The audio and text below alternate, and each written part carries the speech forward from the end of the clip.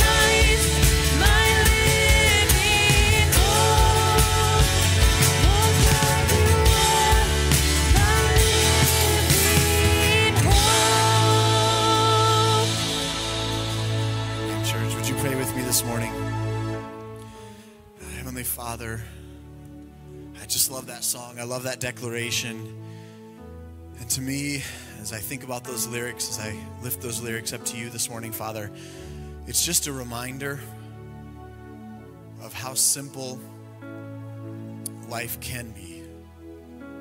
Father, there's distractions. Father, there's trials, tribulations we go through.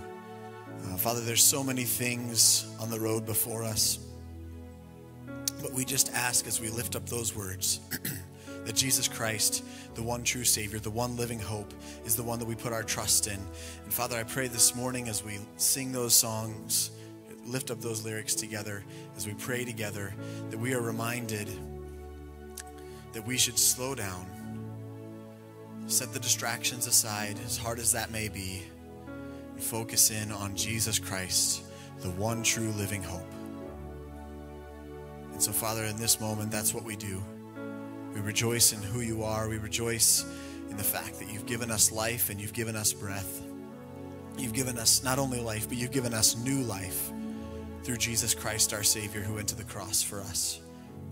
So, Father, continually remind us in the good seasons and in the bad that it's all about Jesus Christ. We owe everything to Him. And that we would just be filled with attitude of praise, and just an attitude of joy, rejoicing in what you've done, and knowing the good things that you're going to continue to do. So, Father, we praise you. And we look forward with expectation to the way you're going to move here in our midst this morning. And we pray this in Jesus' name. Amen. You may be seated. Well, again, good morning. Uh, So glad to see each of you here. Uh, if you're joining us online or if you're joining us in person, welcome to all of you. My name is Kyle Marker, the worship pastor here at Grace Point. And if you are looking for a way to get in touch with us, there's a variety of ways to do that. Our website, you can email the church office, but one really great way is the number that's going to pop up on the screen behind me. Um, there's a variety of keywords you can use to text in, but uh, the cool part about this number is it's a real live person on the other side. So if you want to connect with Grace Point about questions, concerns, prayer, anything you might have, that number is a great opportunity to do it. You can text, and somebody, uh, live, real person, is on the other side who will respond and get back to you. Uh, a few things to make you aware of as we are kind of wrapping up this spring season and excitingly looking forward to this summer season. Um, a couple things. Our Wednesday night activities are going to be wrapping up this Wednesday. It looks a little bit different. If you're part of a small group or the different age based ministries, it might look a little bit different depending on what your group is doing or what the different ministry is doing. Uh, but just a note this Wednesday is our last Wednesday night of church ministry going on, midweek ministries. Uh, a date that you're going to want to remember and circle on your calendar is May 21st. There's a couple really big key things going on here for Grace Point on May 21st. Uh, the first one is that it will be the date in which we switch to our summer service times. So 9 and 10:30. We'll be going to two services instead of three for the summer, um, just as a way to kind of give our volunteers a little bit of a break and a breather uh, as summers get crazy. And so we're going to be doing two services at 9 and 10:30. So remember that on May 21st. And then also to note, after second service or the final service on May 21st, uh, we will be hosting our local church conference. It'll be starting around 11:45. Like I said, following second service. This will be an opportunity um, just to learn a little bit more about the vision of Grace Point, to learn a little bit more about this past year, and a little bit more about the vision going forward. Uh, it's also the meeting where we get to adopt our budget for the year and uh, elect in our elders, the ones that help lead and cast some vision uh, and do some of that. So it's a big meeting, it's an important meeting, and you're all invited to that. Again, following second service on May 21st. Um, we are starting a new series this week, and so I'm excited. I ask that you just prepare your hearts as we get ready to dive into our new Daniel series this morning.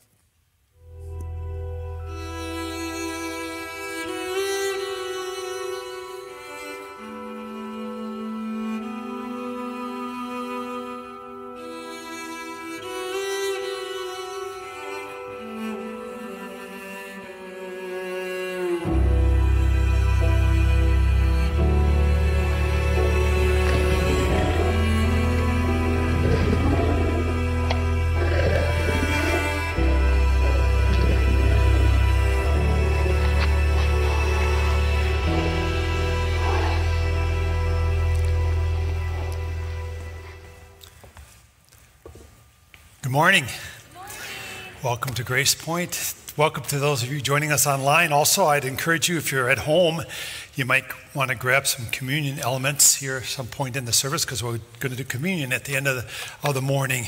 Um, so, we're going to begin today uh, a series from the book of Daniel that'll last 10 weeks and cover chapters 1 through uh, 6. Daniel is an example of living holy in a fractured world. And so we're going to use him as our supreme example of all the stuff we've been looking at thus far in the year 2023. Our theme for the year 2023 is, is how do we as Christ followers do well in, in, a, in a broken, fractured world. And Daniel is a, is a great example uh, to model our lives after.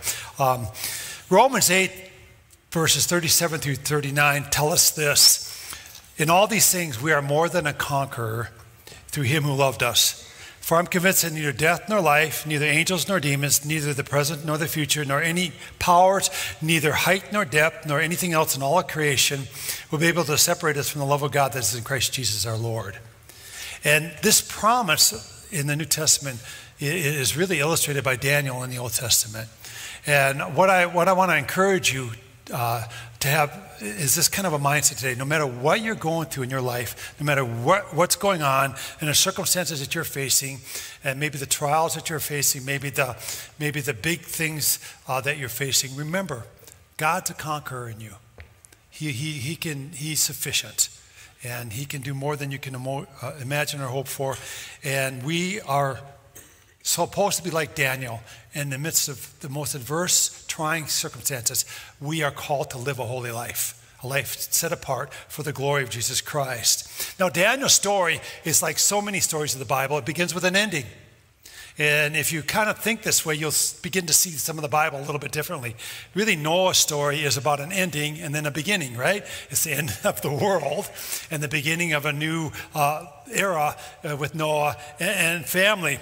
We're told that at the end of the age, that the old world and the old heaven will be put away, and God will put on a new heaven and a new earth. That's what God does. He, he takes us to an ending only to begin something new. Think about when you're born again in Jesus Christ. What happens? Your old life, what? It washes away. It ends. It ends. It's done. You come to an ending. And God begins something new in you, new and, exciting. The Old Testament says the path of the just shines more and more unto the perfect day. God's about doing new things in us that gets more and more and more. The Apostle Paul said we're being changed by the Spirit of God from one degree of glory to another degree of glory. There's always this new thing that God is up to in life. So, whatever you're facing today, whatever's going on, just remember this God, God's a God who brings some things to an end, but He always begins something new. It's, it, it's just, he's a God of new beginnings. And so we're going to begin now in our Daniel series by looking at Daniel chapter 1, verses 1 through 7. And we're going to see here in this scripture that something comes to an end here in these young Hebrew men's life, but God's up to beginning something new. Too. So, so just kind of have that perspective as I read the scripture. In the third year of the reign of Jehoiakim, king of Judah, Nebuchadnezzar, king of Babylon, came to Jerusalem and besieged it. And the Lord delivered Jehoiakim, king of Judah, into his hand, along with some of the articles from the temple of God. These he carried off to the temple of his God in Babylonia and put in the treasure house of his God. Then the king ordered Ashpenaz, chief of his court officials, to bring into the king's service some of the Israelites from the royal family and nobility. Young men without any physical defect, handsome showing aptitude of every, for every kind of learning, well informed, quick to understand, and qualified to serve in the king's palace. He was to teach them the language and literature of the Babylonians. The king assigned them a daily amount of food and wine from the king's table. They were to be trained for three years, and after that, they were to enter the king's service. Among those who were chosen were some from Judah Daniel, Hananiah, Mishael, and Azariah. The chief official gave them new names. To Daniel, the name Belteshazzar, to Hananiah, Shadrach, to Mishael, Meshach, and to Azariah, Abednego. That's where we're going to end our Daniel reading for today. What we see here right away in the book of Daniel is an ending, but it's not an ending in that it's a launch into a new beginning, too. And so, with that in mind, let's talk about the ending for a moment. The nation of Israel was defeated. They were done, they were no more. Despite decades of warnings from prophets like Isaiah and Jeremiah and Micah and other faithful prophets, God delivered Jehoiakim and the remnant of, the, uh, of Judah, uh, all that remained of the people, into the hands of the Babylonian king Nebuchadnezzar. I just finished uh, listening in my Bible to the book of Isaiah. Now I'm into the book of, of Jeremiah. And you know what? There is a lot of redundancy of warning here to these people. You know, follow my ways, God says. Adhere to my ways. Repent, return to me, or I'm gonna, you're gonna be no more. And we finally see that it's the end. God says, okay, we're done. You know, you've, you've been people who have, have modeled flagrant apostasy before me, and there's been immorality that's, that's unheard of, and there's this continual mockery of the messengers that I send to you, and you're constantly ignoring my words. Okay. And he gave them into the hands of the Babylonians. Now, here's what I find really interesting. Uh, I want to just step out of the story for a moment. You, you need to do that with me. Um, I want you to think about this. Think about how God delivered Israel from Egypt. He delivered them with signs and wonders, and he showed that he was the one true God in that delivery of, of Israel from Egypt. Well, just like God showed himself to be strong in that situation, even though it appears here that, that there's utter defeat of Israel, God's not defeated. And in this defeat of, of little Judah and Jehoiakim and gang, we're going to see that God will once again, like he did in the delivery of Israel from Egypt, he is going to show himself to be the one true God. In the midst of all that, all this tragedy and all this turmoil, God's going to show himself to be mighty and the only true God. So he's doing a new work of revelation. Once again, here, even in the ending of something, God is still at work and beginning something new. And, and, and it's an opportunity for those who were taken captive by the Babylonians to have a new beginning, a new dependency uh, on God. We often don't see life this way, do we? We often just see what we lost, as evidenced by the recent pandemic. All people could see was what they lost. They couldn't see what God was doing. They couldn't embrace the new day of opportunity, of dependence on God. All we could do was look at all the things and lament everything we thought we had lost. And we, as Christ followers, we should have in that moment understood God, you're up to something great. You're purifying. You're doing a work in us of separating us from the world so that we could be more dependent upon you. See, that's our God. He brings something to an end only to start something new again in our lives if we're willing and open to his moving. Here's point number two Daniel was part of the first deportation, too. He got to experience that. the ancient Babylonians used a technique to subdue and uh, utilize their enemies. They would relocate them. They would relocate them. The goal was to take the best of the best from their enemies and assimilate them into Babylonian culture so that they'd cease to be who they were and they become part of the new collective. That's, that's how they worked. They just, they were going to reorient it. And part of the way was just get you out of anything familiar, get you into everything new, disorient you to 100% and, and re, re, um, redoctrinate you into, into the Babylonian culture. And there are four tests that, that these young men are facing that I just read about here in, the scripture that I, shared with you today that we're going to talk about. There are four tests that these young men had to face as their lives came to an end as they knew it, and God was going to begin something new in their lives. And we face these same tests in our culture today. And if we don't know how to address these tests, and how to stand fast in our God, then we're not going to do and be the people that God wants us to be. Amen? We're not going to do what He wants us to do, and we're not going to be who He wants us to be. And God's always up to something new. Amen? And we got to quit looking at the endings and thinking it's the end. As the people of God, we got to understand God's always moving us from point A to point B. He's always growing us in our faith. He's always bringing us from glory uh, uh, uh to, uh, to glory, and He's always beginning something new. So we're going to talk on these four tests of faith today. That's all I have time to share with you today. We'll, we'll, expand more on this over the next few weeks. But today I just want to identify these for you and kind of tickle you a little bit of, of what the series is going to be like. All right? So here's the four tests of faith. Test number one that these young men face, that I think all of us face as Christ followers when something comes to an end in our life and God begins something new, and this is isolation. Isolation. In verses 3 and 4, we're told the king ordered Ashpenaz, chief of his court officials, to bring some of the Israelites from the royal family and the nobility, young men without any physical defect, handsome, showing aptitude for every kind of learning, well informed, quick to understand, qualified to serve in the king's palace. And he was to bring them out of their culture, out of everything that they knew, and he was to relocate them into this new place, and he was supposed to teach them the language and the literature of the Babylonians. In other words, you're supposed to retrain these people to think differently. So the first faith test that we see here in the case of these young Hebrew men is simply this the test of isolation the test of isolation. Now, I want you to think about this with me for a moment. I want you to think about this, all right, with me. How do you act or talk when you're the only Christian around? I want you to personalize this. How do you act or think when you're the only Christian around? When you're the only Christian in your workplace? When you're the only Christian in your biological family, perhaps. Perhaps for some of you students, you're going home, you've had this wonderful year at Grace Point and you've grown in Jesus Christ, but you go home to a situation that's not as friendly as here. How do you act when you're the only one that's the Christ follower? How, uh, how, do you, how do you act when nobody really knows or cares that you're Christ follower? They don't give you a hoot. And when you're being marginalized, like our culture is doing right now, to anybody of the Christian who's truly authentically evangelically Christian, you're being marginalized like crazy. You understand that, right? See, you look around here. This is abnormal. Do you understand that? Most of the Christian movement now in our country is ceasing to be, is quickly going to the wayside. We have something special going on here, and I don't know what's going on. I praise God for it, but most people are facing this thing of isolation in, in a real way.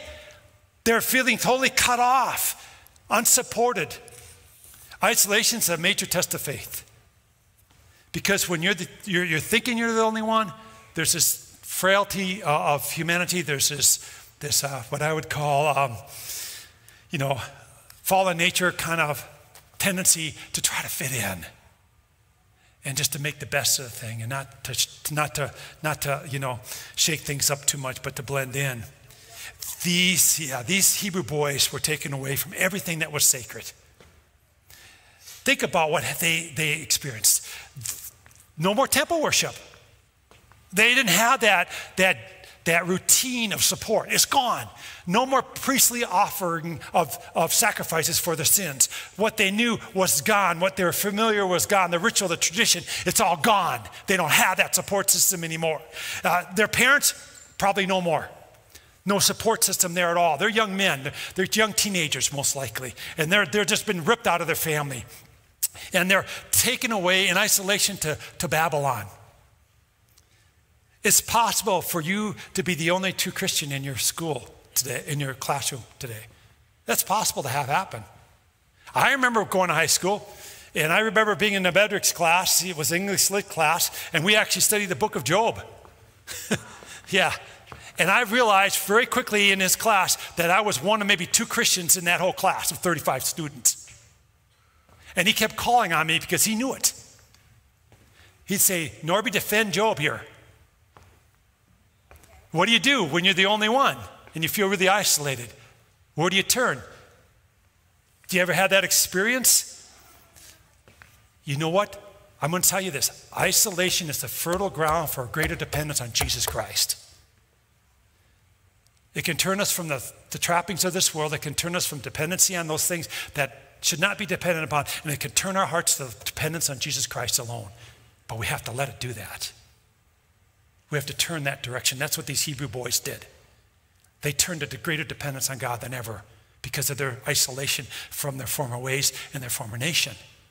And I want to tell you, Christ followers, in this time, an age, we're going to be isolated more and more as followers of Christ, and we have to depend on Him more than ever. Amen? All right, let's go to faith test number two indoctrination. In verse 4, we're told that, that he was to teach the Hebrews the language and literature of the Babylonians. In other words, these Hebrews were to be indoctrinated into the ways of Babylon. Now, you have to live in the sand or something, head in the sand, if you don't see the indoctrinational efforts of culture right now. It's everywhere, right? You turn on the TV, indoctrinational. It's so indoctrinated. It's not even hidden anymore. You can't turn it on without being bombarded with things that are anti-Christ and anti-Bible, and you just, it's just, they're trying to normalize it all, and it just, it might not even be part of the storyline, but it's there. It's constantly there. Social media, it's constantly there. You talk about the government. I don't even know what the government's doing anymore. I don't even know. They're confused. And I'm confused along with them. How about you? I don't have any idea what they even think. And then you think you look at the educational systems and oh my goodness, they can be very, very indoctrinational. Can be very indoctrinational.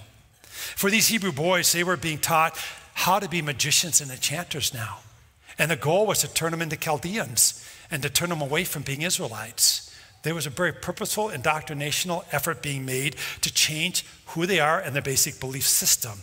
We need to be aware of indoctrination and its, its efforts uh, uh, and what it's trying to really do. It's a test of faith. It's so prevalent, prevalent in our culture. And you know what? Our response need to be, needs to be wholehearted devotion to the Lord Jesus Christ without any apology, without even being ashamed. We need to be wholeheartedly following Jesus Christ, and we need to be ones that are hearing to the revealed truth of the Bible. The Bible says there's a way that seems right, but in the end, it leads to death. And there's ways that seem right to those who are far from God, but in the end, it leads to death. It leads to destruction. It leads to depression. It, leads to despair. You know, and oftentimes, it takes a decade or two for the consequences to catch up with the actions. And that's the hard part for us Christ followers. We're in that in between time frequently saying, no, no, no, no, no, no, no, no, no. And it's just going to take a couple, couple decades for it all to come to light. This was terrible. This was a terrible move or whatever. But in the meantime, what we have to do is we have to stand fast in our, in our Savior. We are in a culture that's becoming radically indoctrinational in this approach with a bunch of radical behaviors. And what we need to do in response is be uh, radically devoted followers of Jesus Christ. We just have to be. One little book that I've read, and over my life now, I've read a lot of Christian books. And uh, I just finished one that uh, it's about the unhurried life that's really good. But at any rate, I, I, I, this little book I read years ago um, really changed how I, I viewed my Christianity Cause because I came to Christ as kind of a wild man. Anybody relate to me on that? I didn't come to, I'm not a church boy. I grew up in Brooklyn Park. We went to church every now and then. We weren't a church family. I didn't have those moorings. I would swear with the best of them or the worst of them, whichever way you want to look at that. I was a bit of a hellion. I did some things that, you know, I look back in this. If you knew me as a teenager and you see me now, you'd say, what? In fact, my family thinks of me that way still. I remember going to a family gathering and they just said, You're a pastor of a big church. It's like they just finally figured this out. And I remember both, a couple of my aunts just staring at me like, Really? You are? You ever had that stare down? And I'm going, yeah, you know, that was like 50 years ago, but yeah, you know, that's my hall of shame. I'm not proud of what I did, you know, but that's what they think of me as, right? And, and, and, and but, but at any rate, um, so I'm reading these books. And by the way, anybody else book reader in here beside me? You love to read books? I want to give you permission. A lot of the books you read aren't worth reading. You'll get like a chapter two in, but then if you're, you're like me, you think, I paid for the book or whatever, I need to finish it. No, you don't. Quit. Throw the book away. Stop. I give you permission, okay? Some of you need that permission. I've been giving myself permission lately. Oh, this book is, all right, first chapter, they're done. The rest is just filler. All right, I'm done. I don't need to read the rest of this book, right? Just throw the book aside. You know, you're not getting graded on it, most of you, right? If at this point, so I, I, I read this little book here years ago. It was, uh, it brought me back to my, my, my beginning point of being a radical follower of Jesus uh, which I think I've been pretty much my whole life. But at any rate, it's called The Barbarian Way by Erwin McManus. The Barbarian Way by Erwin McManus. How to, uh, how to escape from civilized Christianity is like the tag. And I read this book and I remembered my beginning as I read that book and how radically Jesus changed my life. And, and how much, and I, I, I read that book, I said, okay, God, you're granting me permission once again to be a barbarian, so to speak. I don't have to be a tamed Christian. I don't have to be civilized. I have to love Christ with all my heart, soul, mind, and strength. And I have to just be crazy in love with Him. I tell you what, in a world that is so indoctrinational, what it needs is a counterpart that's just as radically, as radically committed. Amen? How many of you remember President Reagan? Did, you, did any of you live during that time? Raise your hand. I want people to see that I'm not the only old one in here. So, what, President Reagan was one of my favorite presidents, but here's, here's why. You remember he was called the Teflon Man? Anybody remember that language? Anybody? Teflon Man? He, he, he kind of came out of the, the media and he was really good at handling media. And when they would try to catch him up on stuff, he would just turn it back on them. It was fun to watch him stump the media and, and just call him out and say, I'm not going to answer that stupid question with an agenda behind it. You remember him saying stuff like that? He was so forthright. I mean, I loved him as a politician, and, and he was called the Teflon man. Nothing that they threw at him would stick. They could never get anything to stick. He just wouldn't let it happen. Well, what we need right now is a bunch of Teflon Christians when it comes to indoctrination. This stuff can get thrown at us, but it's not going to stick. It's just going to slide off us. I don't know about you, but there's nothing like a new Teflon coated pan to cook an egg in. It just slides right out of there. No oil needed. Yay, right? That needs to be us. Nothing gets there, nothing sticks. It doesn't dirty us up, it just slides right off of us. And in this day and age, when there's so much indoctrinational effort being made, be a Teflon follower of Jesus Christ, okay? Let's go to faith test number three. This is compromise. This is compromise. In verse 5, the king assigned them a daily amount of food and wine from the king's table. They were to be chained for three years, and after that, they were to enter the king's service. So the king serving them his best food. Unfortunately, it just is not the food that these Hebrew boys would have eaten. Most likely, it was offered to idols. Most likely, it was prepared in a way that wasn't clean according to Hebrew tradition. Now, should you make issues over this? Maybe not, maybe should. They did. It was like to them, the step of compromise they couldn't take. You will, we will see that here next week uh, as I talk more about on this. But here's what compromise does to us, friends. Listen to this. It often starts with maybe just this one time. Addiction often starts with maybe I'll try just a little. I grew up with an alcoholic father. Had a lot of relatives that had alcoholism problems. I had alcoholism problems when I was a kid. The statistic is still true. One in seven people who try it will probably become an alcoholic. For six people, you can have a beer, no big deal. The seventh person, you have that beer, it's the beginning of destruction.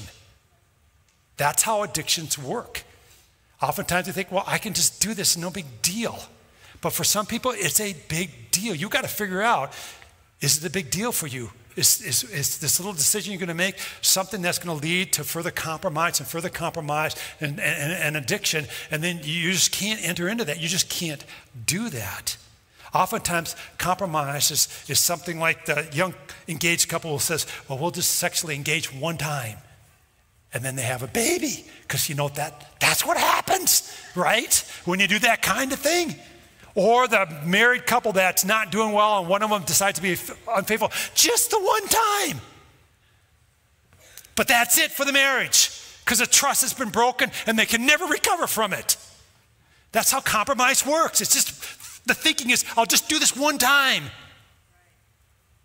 And these boys were faced with that kind of situation here when it came to the Babylonians. They could, I mean, they're they're hundreds of miles away from the home. They're, they're here, and they're all by themselves. They're going to be presented with this food that probably is tasty. They could have thought, I can just compromise this one time. What does it matter? Nobody will see me anyway. It doesn't matter at all. But that would have led to probably a road of destruction.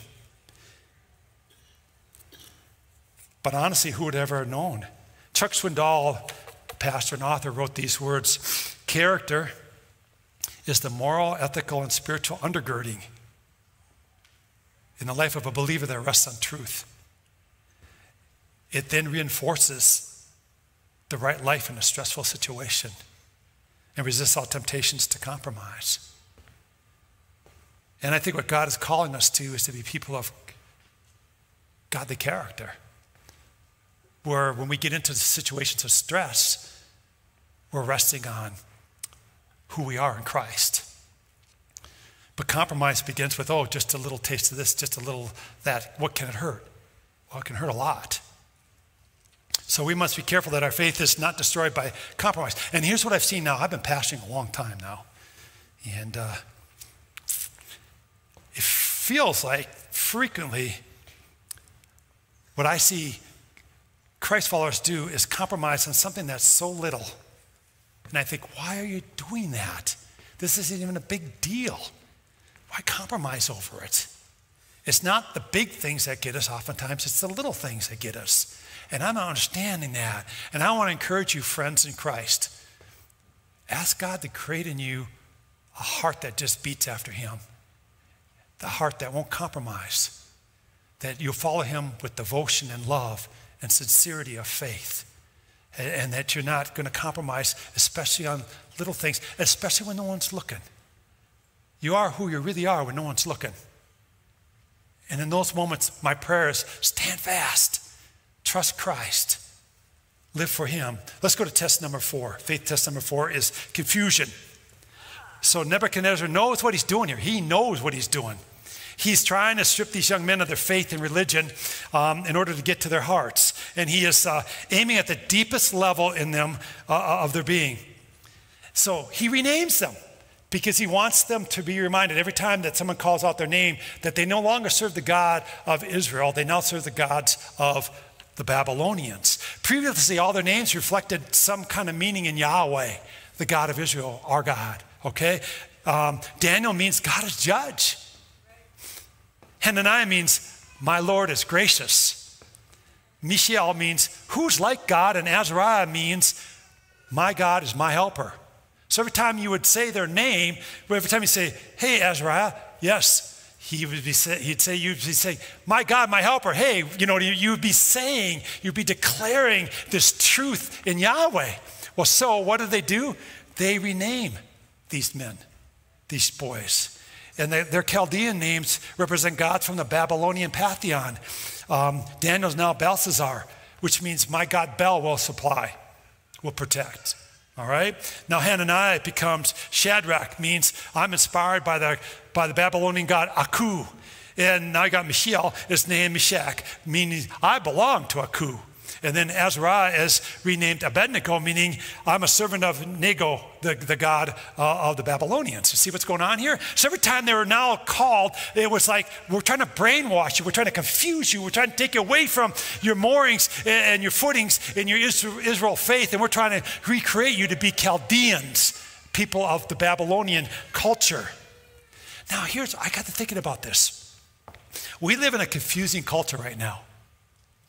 And I see a lot of Christians get really confused of what to do. You know why? I think, and I'm not trying to oversimplify this, but I think there's a lot of confusion today because we simply do not know God's word.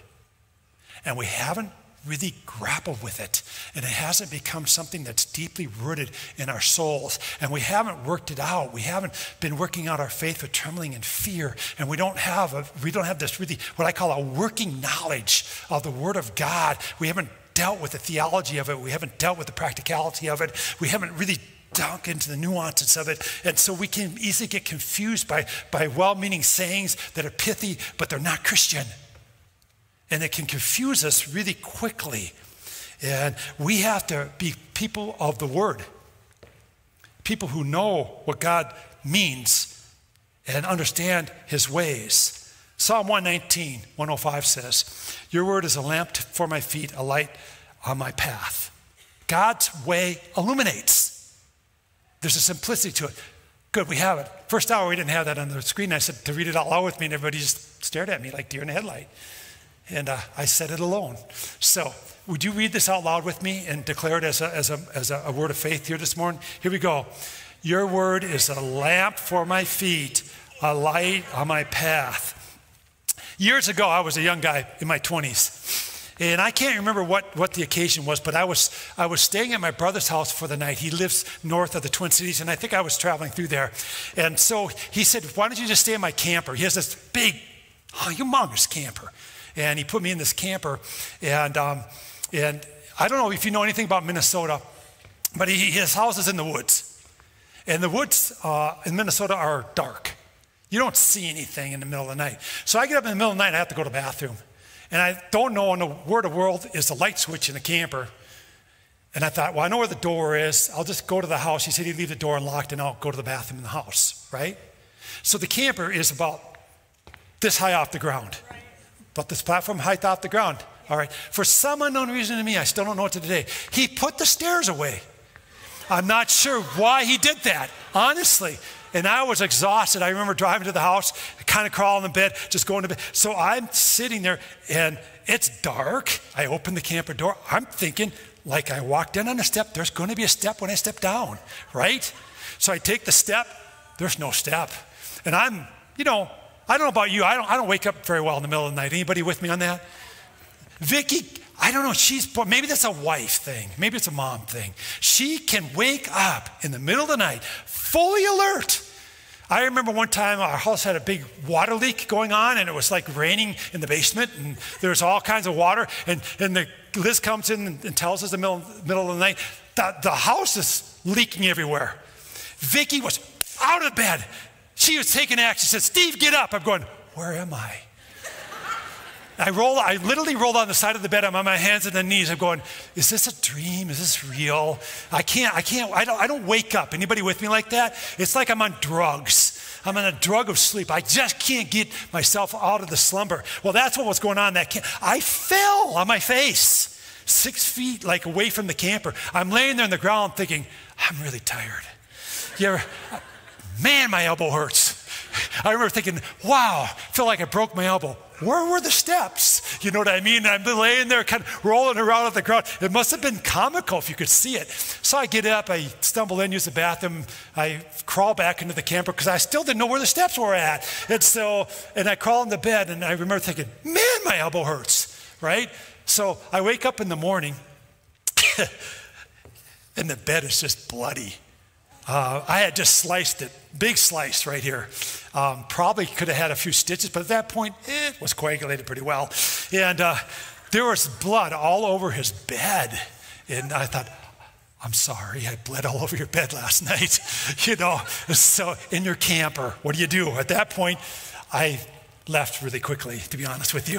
So, uh, uh, uh, but I was thinking about this falling down thing and how in the dark you can get tripped up or you're not paying attention. Some of you might remember this.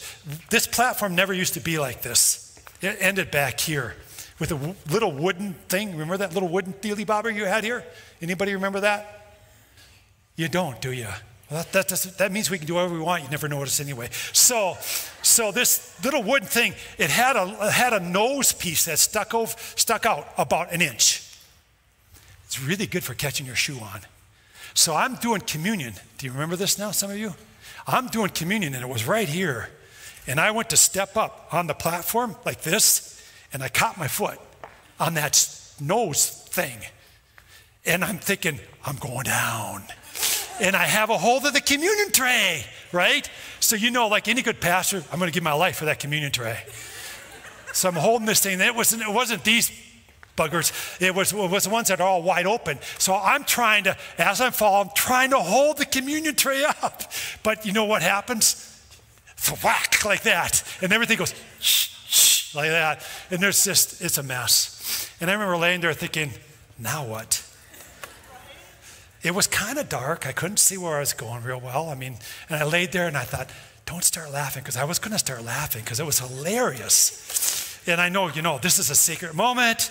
We're trying to do the thing called communion here. It's a sacrament. And finally I jump up, I'm okay. And everybody looked at me like, what are you doing?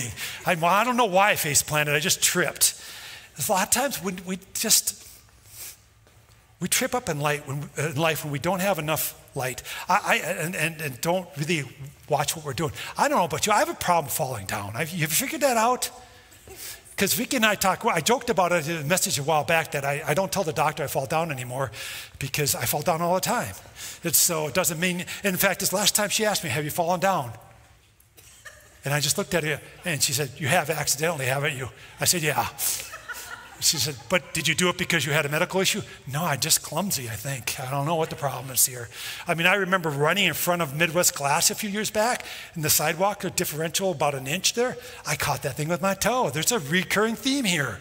Down I went on my face, front of, front of Midwest Glass. I'm laying there sprawled out on the sidewalk saying, That hurt. You know, so, so you know what my solution was? I quit running. Yeah, that's still their lump there. It's still there. They haven't fixed it. But yeah, at any rate, God's word keeps us from spiritually tripping up. It illuminates the way we should go. It takes away confusion. And I know the Psalm's almost simplified to say it. Much of our confusion in life goes away if we simply know God's word. If we're really grappling with it and really believing it, it just takes that confusion away, takes that tripping up away. What are the four faith tests that the Hebrews face that we still face when something ends and something new begins? Isolation, indoctrination, compromise, and confusion. We still face those same issues today. Now, what I realize is that as disruptive as all this must have been in the lives of Daniel and friends, hurtful and harmful as it was to have their nation come to an end, because that was a reality that's tough. Their nation's been defeated. Um, and, and this new thing is being birthed in them. What, what I think we need to understand is this that God God works in the disruptions of life. So here's our big thought. We're going to end with it today. When life is disrupted, a new level of dependence on God can be experienced. And that is the key to have a new level of dependence on God become the outcome of that disruption. And I think, you know what? When I look back at things like the pandemic and stuff, I think we Christians and Christian community, we did miserably. We didn't do well. I think we got about a D minus. We didn't handle the disruption well. We fought with each other. We didn't learn. We didn't understand that God, God maybe is separating us from this world and maybe wants us to be more dependent upon Him. We didn't seize that moment. We didn't do that spiritual kind of work we should have been doing. And, and, and you know, what we need to do is in our lives, we need to understand when something comes to an end, when God's doing something, the question needs to be, be what new thing is He starting? How do I depend on Him more? You can't succumb to isolation. You can't succumb to indoctrination or compromise or confusion. Instead, you have to be more dependent on God than ever. Here's a couple reflection questions to consider here. Are you at an ending in something in your life? I mean, if you're a college student, there's this natural kind of flow. You end your college career and you begin your working career, sort of, you know, depending on what you're doing. There's this natural kind of like something comes to an end, something new begins. You know, you can see it. It, it, it doesn't always have to be a crisis, it doesn't always have to be a negative thing. Sometimes it's positive stuff. You may be doing really well at something, but you just feel God's calling you to do something else. Something's coming to an end, something new is beginning. If you have unrest, that, is, that could be indicative that God's up to something in your life. What new beginning is God calling you to? Will you seek to know and depend on God more? So we're going to end here for today. We'll pick it up next week. Um, Daniel just gets better and better and better. I, I love the book. It's one of my favorite Old Testament books. Um, we're going to go com- and do communion right now. And so I'm going to read an invitation to you, and then we're going to jump into this, this time of communion. If you're on the lower level here, you're just going to grab the communion elements while the praise band plays. If you're upstairs, you're supposed to have picked them up when you came in. If not, the ushers there, I see Phil uh, and, and, and, and Al will give you communion elements. You just need to raise your hand. Okay? So hear this invitation. You who are walking in accordance with fellowship with God, are in love and harmony with your neighbors, and are truly and earnestly repenting of your sin um, and, and leading a, a new life in Christ, following the commands of God, walking in His holy ways, draw near now with faith, and take this sacrament to your comfort, meekly making your humble confession to God. Would you bow your heads, please? Lord God, I want to just consecrate these elements. Um, we, we come to you, our Heavenly Father, who in mercy has given us your Son, Jesus. He suffered death upon the cross for our redemption. Accept our praise, we ask you. We thank you for your love, for the gift of the Son, for the sacrifice he made in our behalf, for the forgiveness of our sins, and the cleansing of our hearts. For the present witness of your Holy Spirit to our hearts that we are your children. Grant that as we receive this bread and this juice, um, in memory of Christ's death and suffering, in communion with you and with your children, that we may be made partakers of his body and his blood in your name, Jesus. Amen. If any of you need uh, gluten-free wafers, those are up here for your taking too. So you come as a praise band plays, spend this time meditating on Christ or singing with the praise band, whatever your heart finds to do.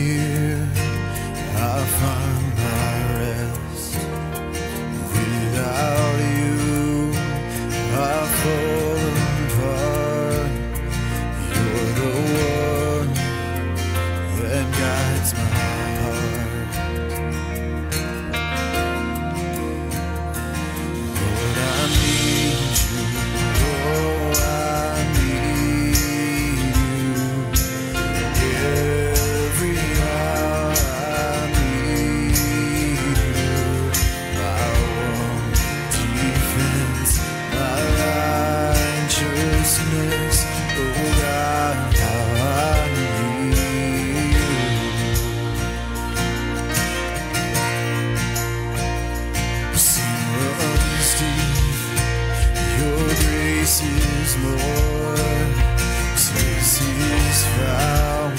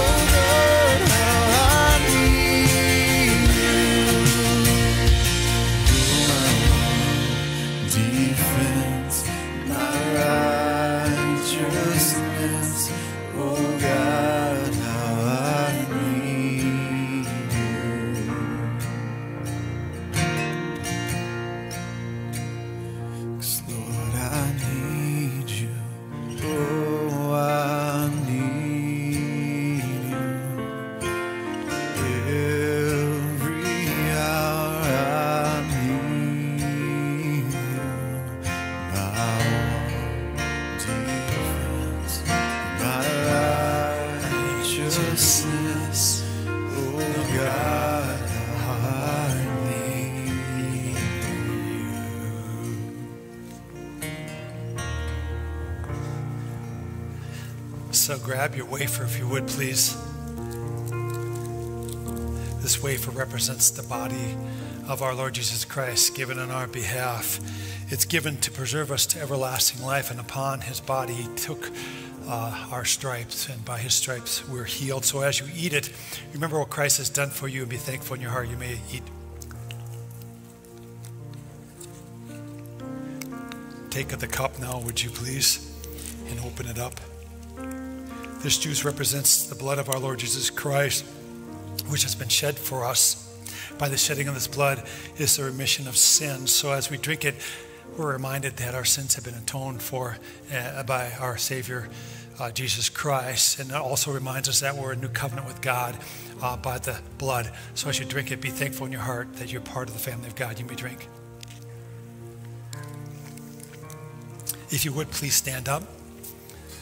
We're going to go ahead and, and recite the Lord's Prayer all out loud together.